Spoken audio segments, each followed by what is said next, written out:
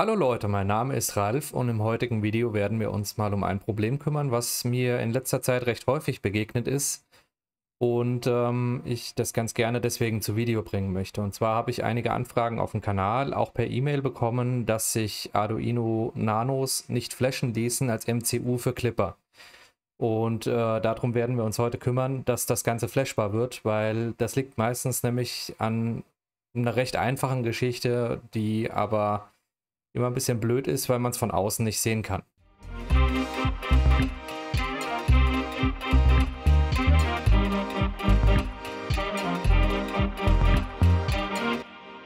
Ja, auf dem Bildschirm angekommen, äh, kümmern wir uns dann gleich drum, wie das Ganze aussieht, was wir machen müssen und ähm, brauchen tun wir dazu halt im Endeffekt noch einen zweiten Arduino Nano oder Uno, damit wir ähm, mit dem Arduino ISP das Ganze dann auf den anderen äh, brennen können und äh, den Bootloader neu überspielen können. Denn wir brauchen im Prinzip äh, aus Sicht der alten ANET-Nutzer mit den ANET-Boards äh, den OptiBoot Bootloader. Ähm, bei dem Arduino Nano nennt er sich einfach nur äh, Nano. Also da wählen wir im Prinzip nur den Nano aus.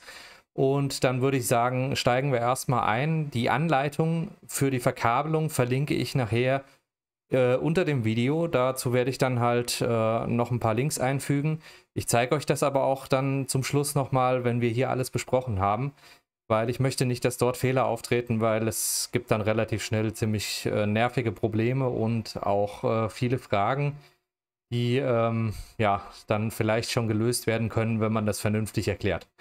Also als erstes müsst ihr halt mal in die Standard-Sketche gehen, in die Beispiel-Sketche gehen von der Arduino IDE. Dort wählt ihr aus Arduino ISP. Das ist dann dieser Sketch hier.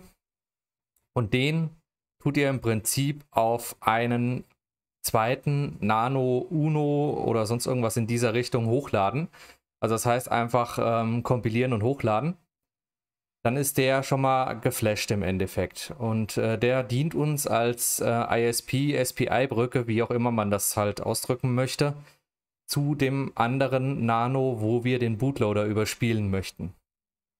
So, und dann müsst ihr, wenn ihr den Nano ja sowieso schon ausgewählt habt, wenn es beispielsweise ein Nano ist, dann müsst ihr halt auf jeden Fall darauf achten, dass bei Prozessor ausgewählt wird Atmega 328p und nicht 328p Old Bootloader. Der Old Bootloader ist nämlich genau der, der mit Clipper nicht funktioniert.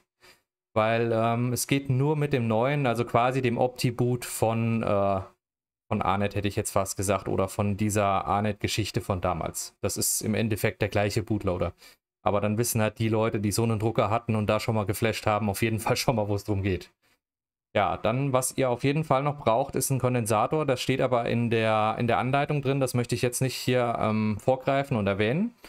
Und halt die Kabel, um die zwei ähm, Arduinos miteinander zu verbinden. Ich werde jetzt allerdings gleich hier ähm, zur Veranschaulichung einen AT Tiny flashen, den ich für ein Tastaturprojekt brauche, weil ich habe im Moment keinen Nano da. Das heißt, ihr dürft auf keinen Fall diese Einstellungen übernehmen, die ich jetzt gleich für den AT Tiny äh, tätigen werde und damit dann quasi versuchen, den Arduino Nano zu flashen. Das funktioniert nicht. Ihr müsst halt diese Auswahl treffen, die ich vorhin erwähnt habe.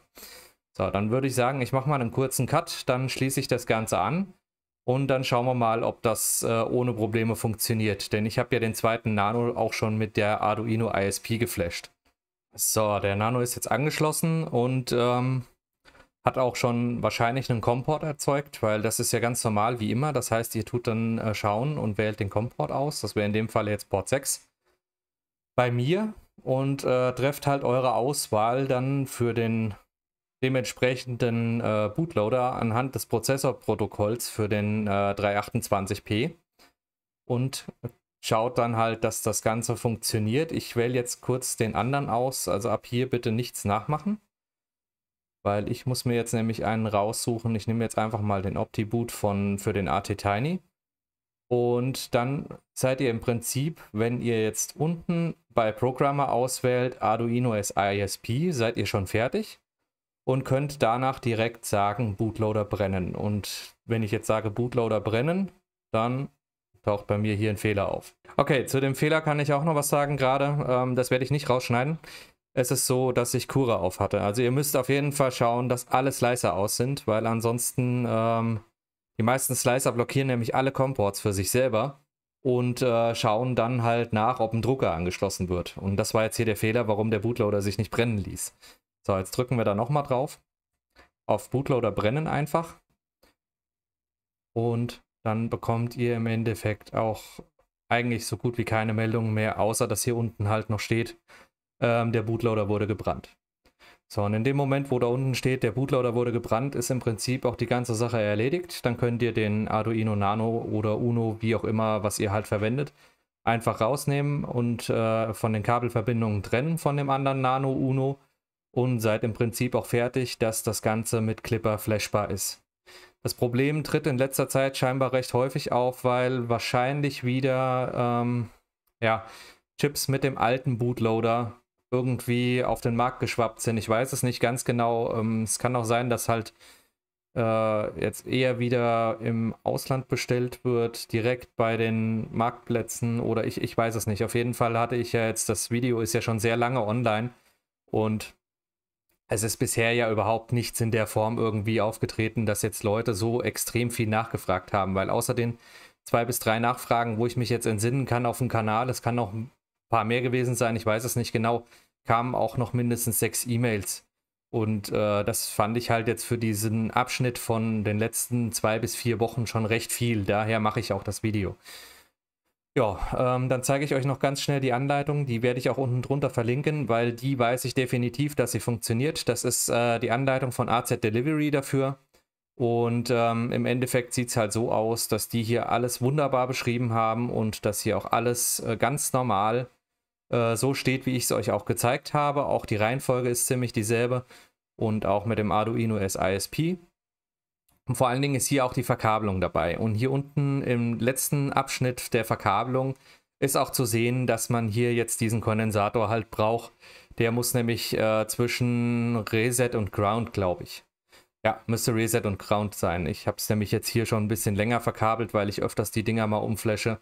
Und ähm, dann ist das Ganze halt ruckzuck erledigt. Ja, hier ist auch im Prinzip das Ganze auch nochmal beschrieben. Die zeigen halt hier jetzt auch den alten Bootloader als äh, Bootloader brennen, aber ihr müsst auf jeden Fall auf den normalen Atmega 328p gehen. Das ist der neue Bootloader. Ja, dann würde ich sagen, ähm, in diesem Sinne, habt eine schöne Woche und äh, lasst ein Abo da und aktiviert die Glocke, damit ihr nichts verpasst. Und bis zum nächsten Video.